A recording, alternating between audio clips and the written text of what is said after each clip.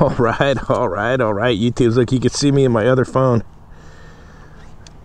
Do a little vlog and we'll talk about refrigeration leak checking.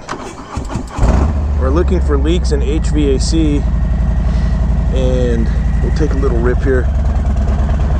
Weather's been gorgeous. It's been in between the 80s and 70s. And it's been real nice.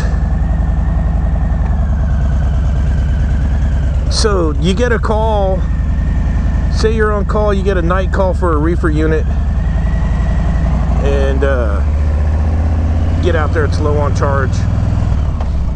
You already worked 10 or 12 hours today and you're back out there to midnight, 1 in the morning. It's low on gas and it's perfectly normal.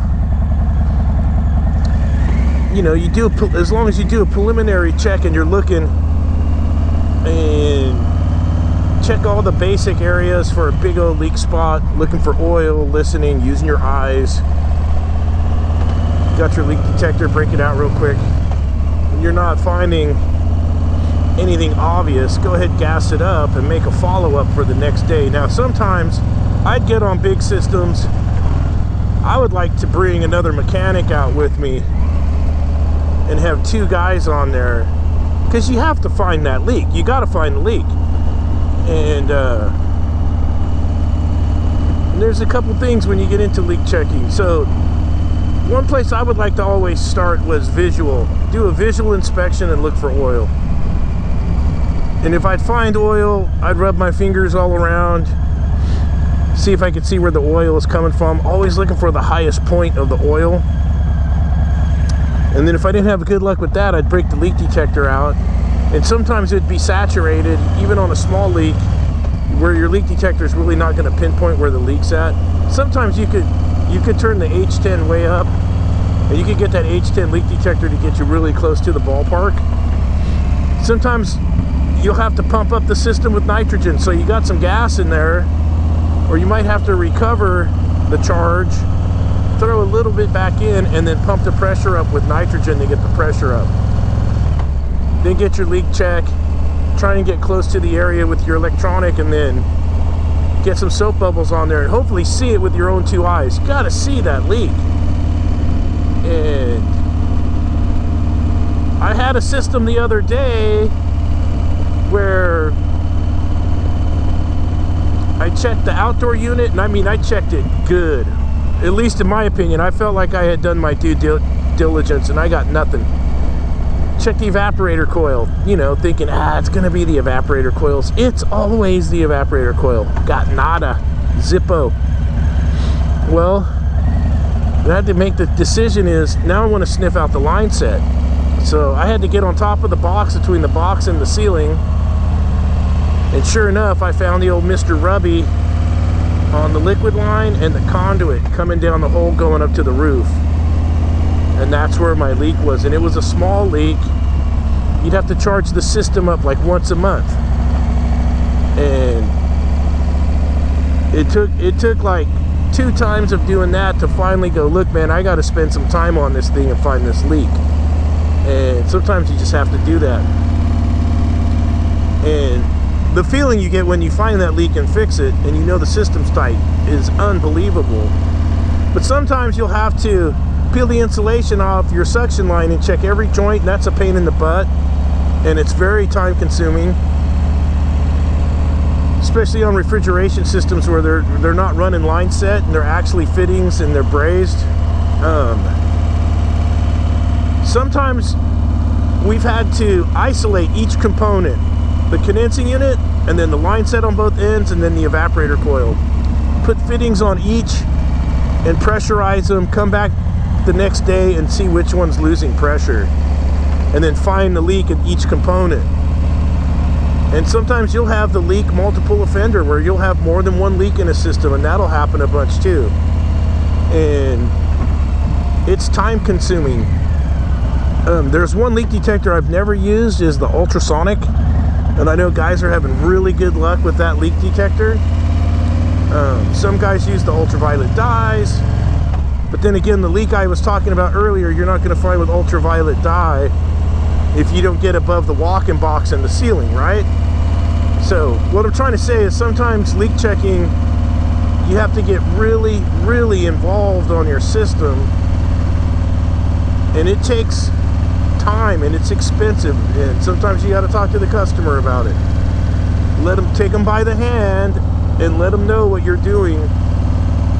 And but you have to find those leaks. And sometimes it's not easy. And sometimes the equipment we have lets us down. Hey, you know, the H10s, it's not bulletproof every time.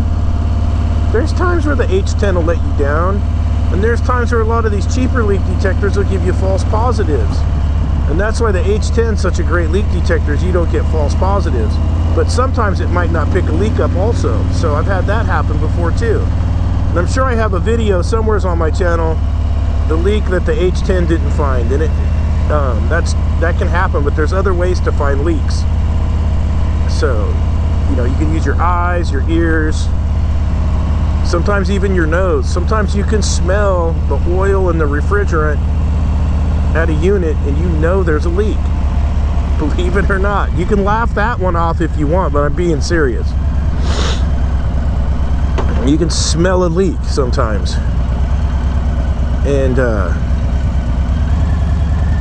sometimes the leaks are easy to find and sometimes you really really have to dig into these things. And uh,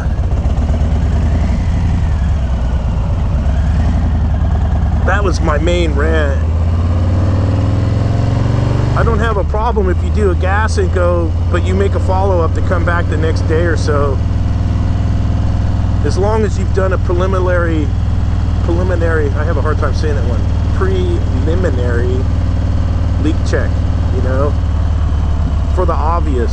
You know how many times have you worked on a with a crew and your co-workers done the gas and go on a Friday you're on call on the weekend and you're back out there Saturday night because all the gas leaked out and you take a peek and the expansion valve outlet is a gusher and it's just like wow pretty simple to find and fix. And that's that's what I'm talking about. Just give it a preliminary and let the customer know hey I got to come back tomorrow and find this leak man. You know it's two in the morning. Say try and save the product gas that thing up. If it's within within the limits of doing a gas and go you know, you got a system that's running on less than 50 pounds of gas, you know, got to play within the whatever the laws are. And sometimes I can't remember all of them, especially right now while I'm not riding bikes. And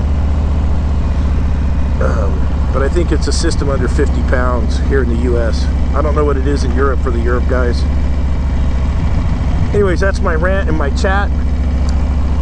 I've been super busy with calls I just haven't been filming the iPhone right there. The iPhone 11 Pro puked on me. I had to send it in under warranty, and that's why I haven't been filming. I don't like filming with the GoPro um, on the reefer jobs. Um, I do feel with the GoPro when I'm riding the motorcycle though, because it just, it's, for me, it's just a different setup. And uh, that's why I haven't had refrigeration videos out. And I've actually had some pretty cool calls. I got some changeouts coming in the pipeline. And let's see today's Thursday. Tomorrow Friday I got I got some calls for after work. Maybe we can get a couple maybe I'll put it together try and put together a compilation video for the weekend. Look there's the surfer. He went from a mask wearing a mask to having a pumpkin on his face. I like it